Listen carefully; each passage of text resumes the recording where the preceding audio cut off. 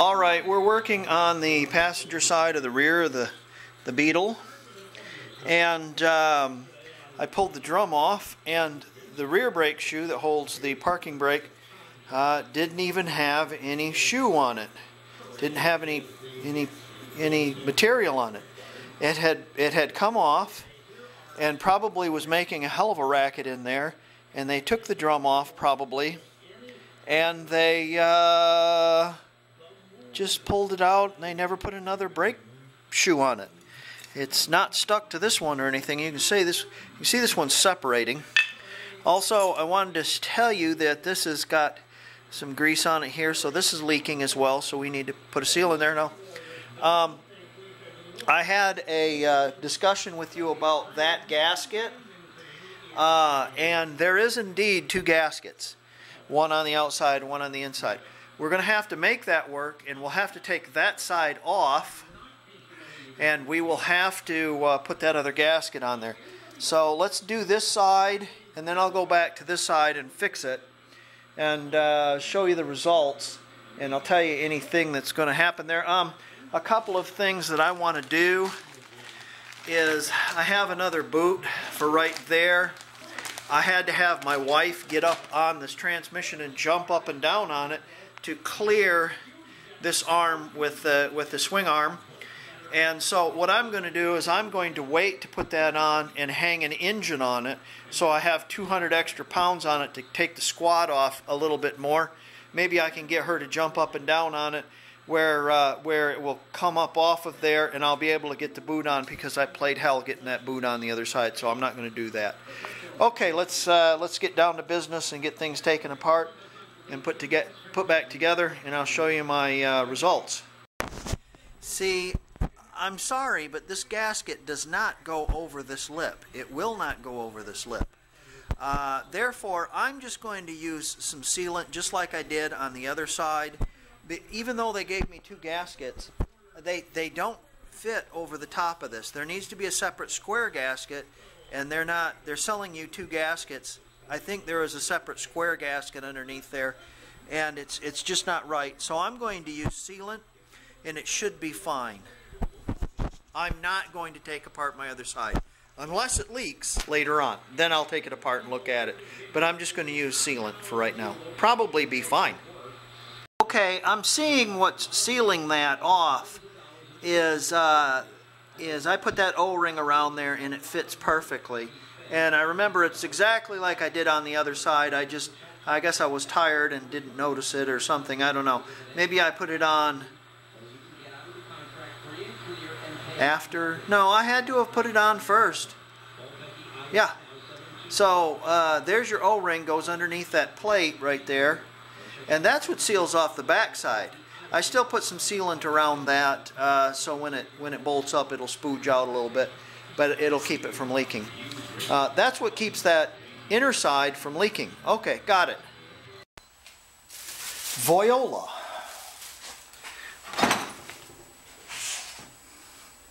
Uh, DOT4 is, let me put my fingers up here synthetic uh, brake fluid.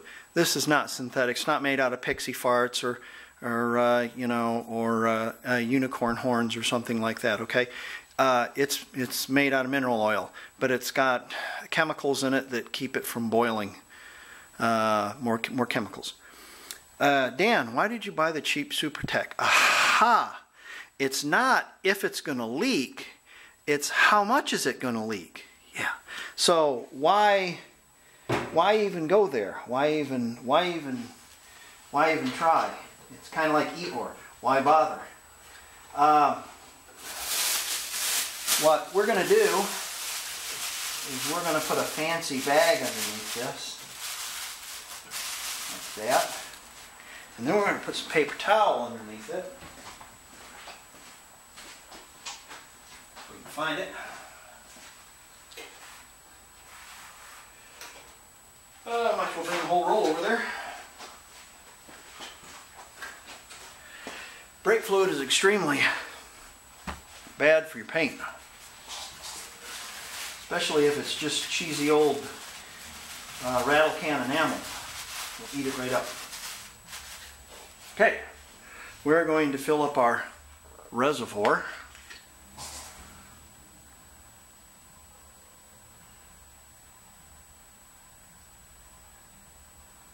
Okay.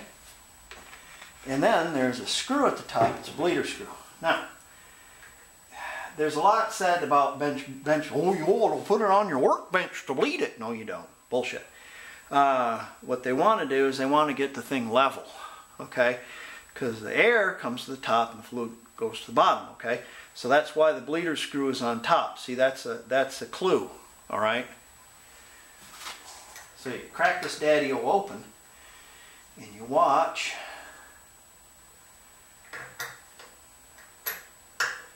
as the fluid of your reservoir and it's not doing anything. Let's rock our uh, gizmo a little bit. Can't get some down in there.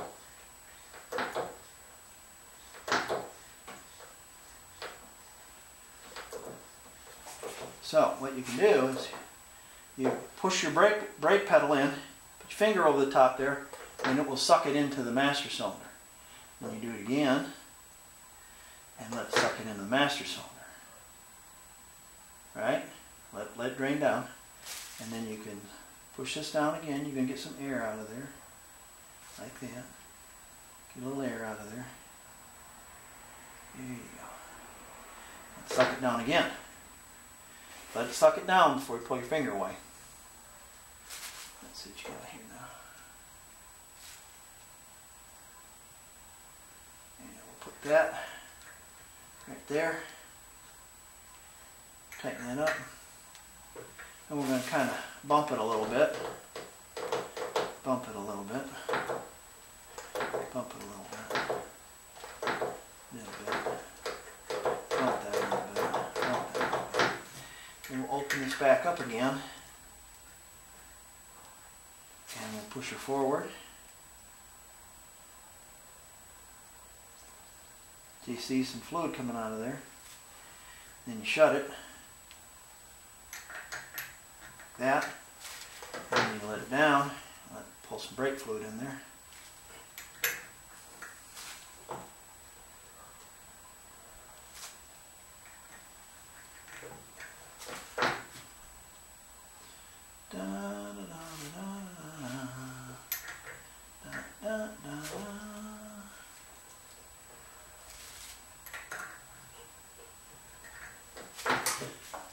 It's not pulling anything on the reservoir. Let's do our finger thing again. That worked pretty good.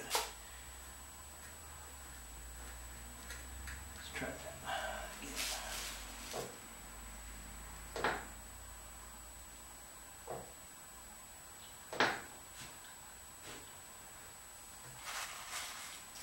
Seems to be flowing over, so it's, if it's flowing over, we're, we're full.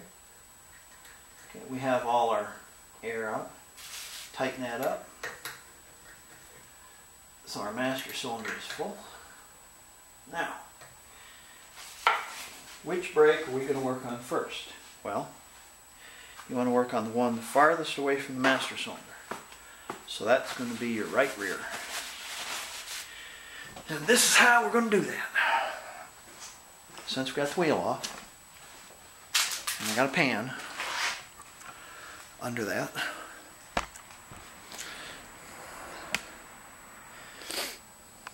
This wheel cylinder has a 7 millimeter bleeder, and we're going to open that.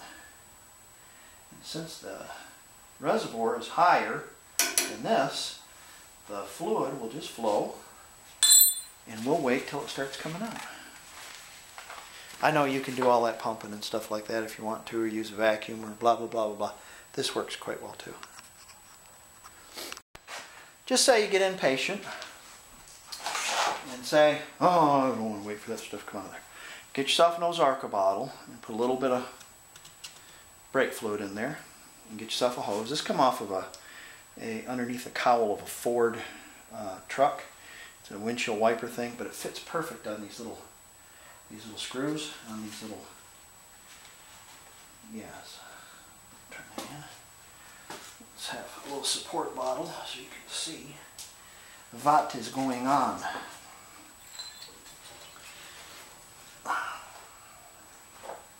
And this is uh, one man way of braking. Uh, bleeding your brakes. One man brake bleed. Little support bottle right here. And put that right there. And crack this bleeder screw like here. And what you will get is you will get air that is coming out of this bottle. It'll go bubbly, bubbly, bubbly, bubbly. And then when you pull up on your on your pedal, it will suck uh, not that back in there. It'll suck fresh into the master cylinder. And it'll keep going until all the bubbly bubbly is gone. And then that brake is bled. And you just tighten up the wheel. Kind of one man deal. So, let's see if it works.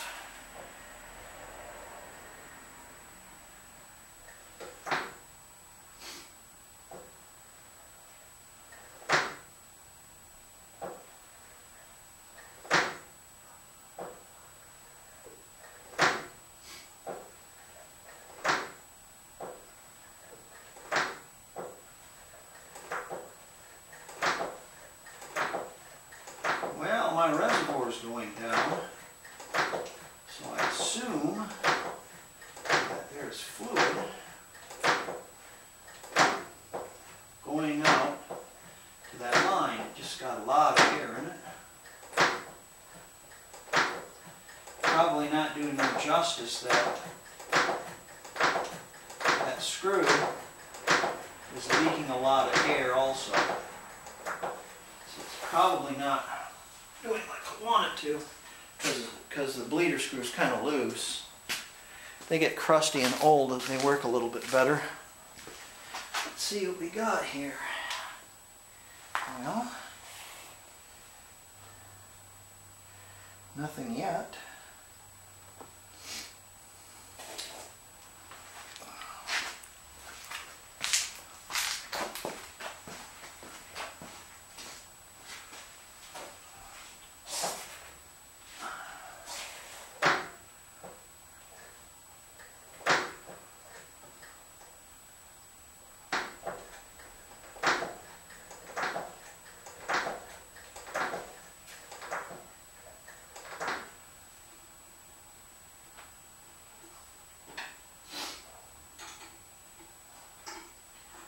Mm-hmm.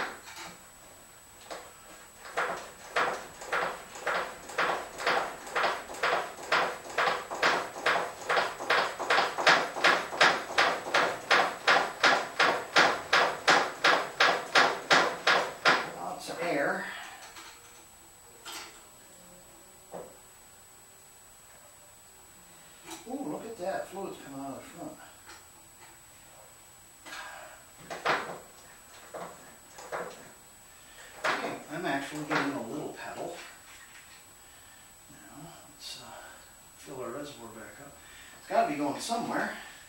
So it's got it coming out that back. Let's see if she's coming out there now.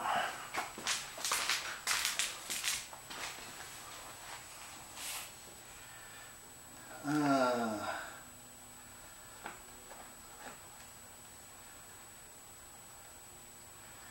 open that up a little more and see if we can't make that work. Let's uh,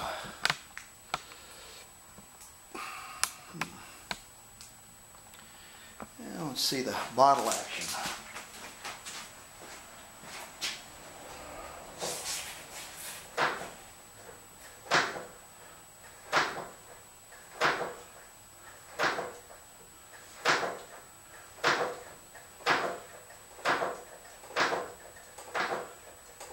She's going down now.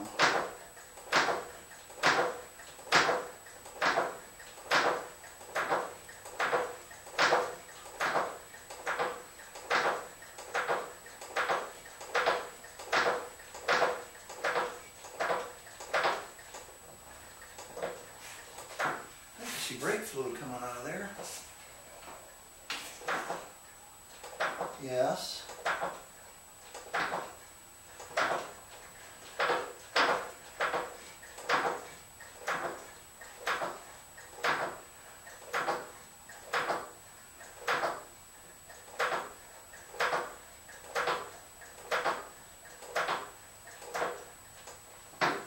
Okay, fill the reservoir back up.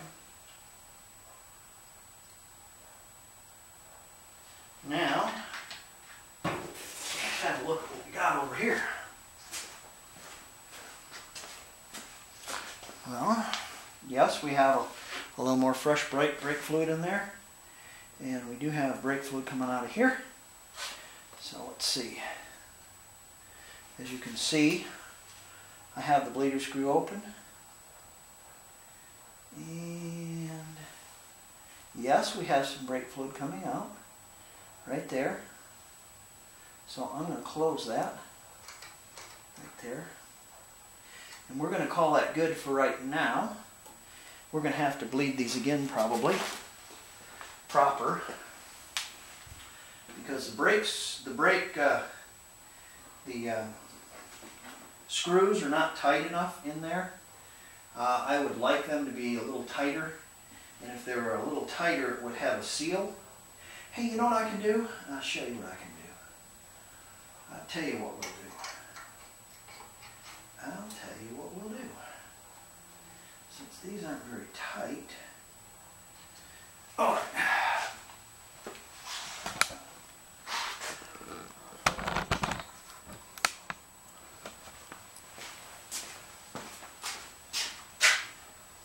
Now, what I'm talking about, not very tight, is the threads aren't very tight. The actual seat is right there. So that's going to seat, but I keep getting air leaking around the threads. Let's see which way is it going to turn. So we're going to put a little tape on this.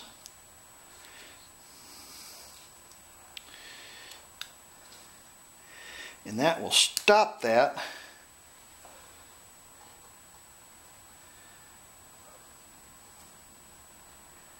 And allow us bleed my brakes my way. Slip that over the top. Now, you can watch this bottle go to town as I pump the brakes. Now remember, pump the brakes, it's going to empty the air, and the brake fluid is here. So it's already went over on the other side, now it's going to come down here. But uh, the air will come out, and it will suck more fluid before it goes to suck the brake fluid back up in the wheel cylinder. So,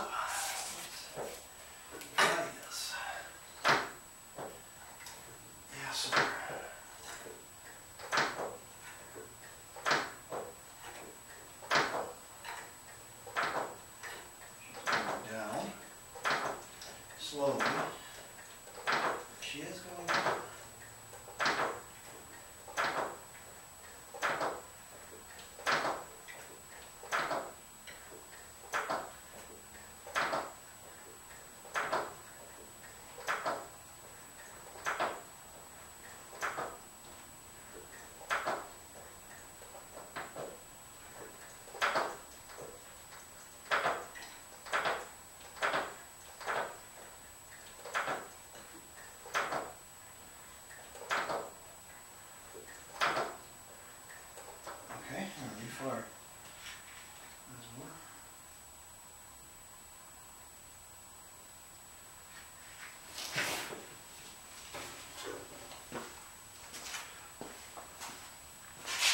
There's. And let's have a look at this. You see brake fluid running out of it? Yes, that means there's no air, because if there's air coming out, there would be air coming out. You can leave the tape on, and give it a little, twist. Yes, sir. Just like that. Now, let's go over to the front.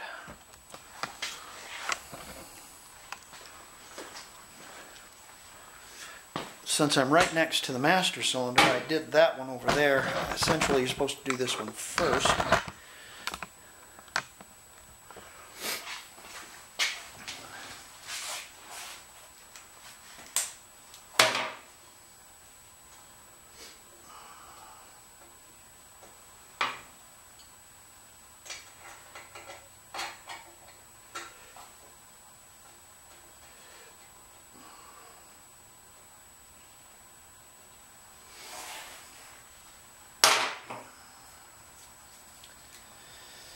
Let's see here. Here we go. Let's see.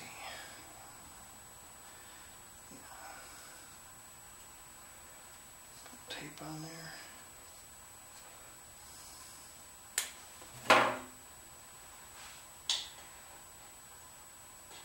Oops, wrong way. We have, actually, we have brake fluid running out of there already.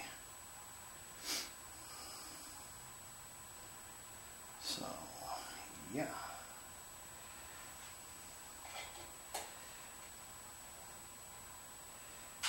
There you go. Just like that. Put that bottle on there.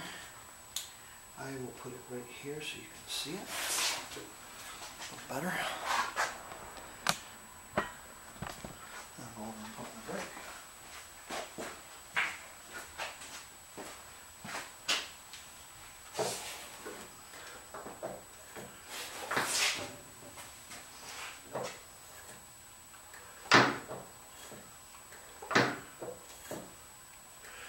air coming out of there?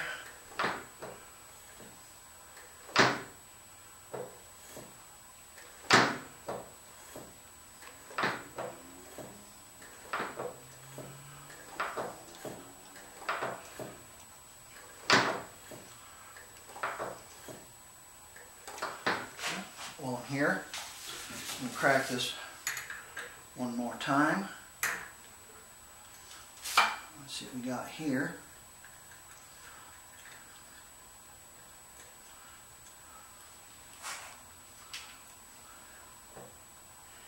And we do have fluid running out of the master cylinder with that with that opened up.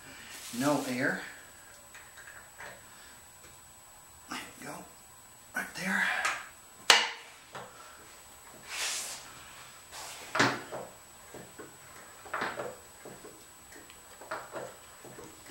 There we go. Got our air out. Now, we'll go over there and tighten this one up.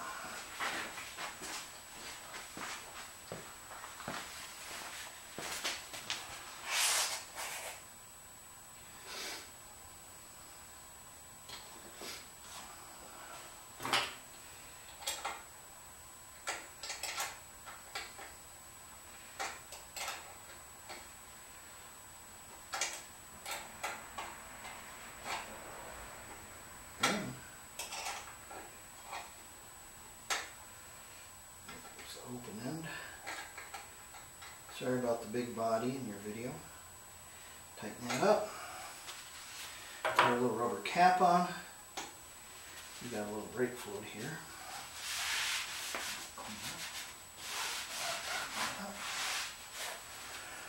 And that's how it's done, folks. Now, I pump that up and I'll have a reasonable pedal and brakes. Okay, this completes the pan. Uh, I got a gallon of 90 weight. Why did I get cheap stuff? Well, it's Not if it's going to leak, it's how much it's going to leak.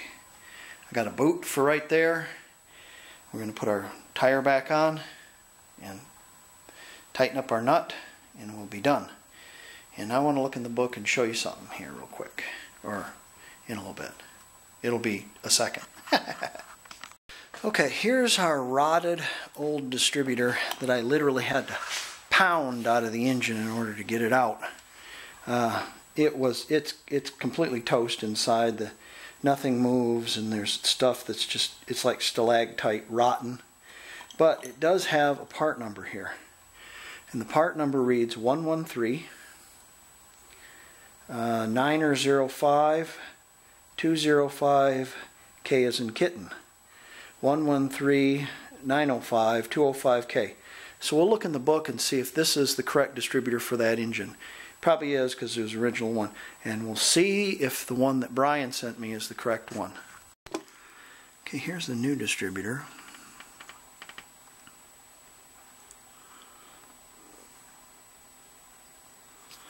If you can read that.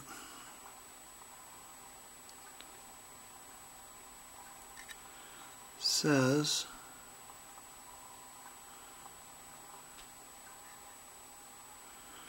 It says 113 905 205K. 113 905 205K. Disco. That's it. That's the correct one. Now let's look in the book. Okay. Uh, 1350 horsepower, 1553 horsepower um, from engine number, and our engine number is an H, HO engine number. So 113905-205K. So a VW number is the L, and this is a Bosch distributor. So it's a K distributor. So double disco. So that's the right one. Thank you, Brian. Uh, let's go to this. I want to show you this now. This is our exploded view of our uh, transmission rear axle section and it shows this gasket of course the gasket and it covers the flange there there's our big o-ring goes over the top of the uh, uh, bearing as it sits in the in there it doesn't show the back side of this but I will show a picture with the back side of it so that gasket does go there and there's a seal right there so, is there a gasket on the back side of it? I don't know. Here's our brake exploded view. and it shows the gasket on the back side of this, but I don't think that's what they meant. Um, let's see, because there's only one gasket there, and it's number 27. Uh, so, gasket. There's not a gasket up here, but I think they mean it to be. See, you got to understand something. This is a German book, and if it was written wrong, they would be lampshades. So, yeah, so it's it's perfect. You just got to read it the right way. That's the whole problem is I'm reading it the wrong way. There is a gasket underneath there. There is just one gasket though. There is no gasket behind this. That's why it cleaned up so easy. So just me putting a little sealant behind that, that isn't going to hurt anything. For some reason that kit came with two, two gaskets. You don't need two gaskets. There's no way this gasket here will fit on that flange because it's it's not big enough. So, but it does fit on this side under this flange. And since we have a seal, since we have this seal over the bearing, when this whole thing goes together, it won't leak. So I think we're fine there. I, th I think we're right. So we're done there. Okay, the next thing we're going to be working on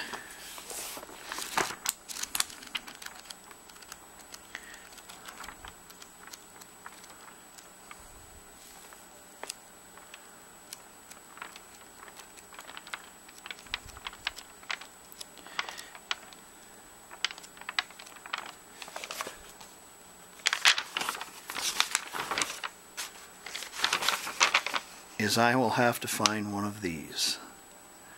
Uh, I found one online um, shipped to my house for 300 bucks in pieces. So probably I could put an engine together for five, six. Still waiting to find a car, a whole car. Talked to a couple of guys, but they seem to want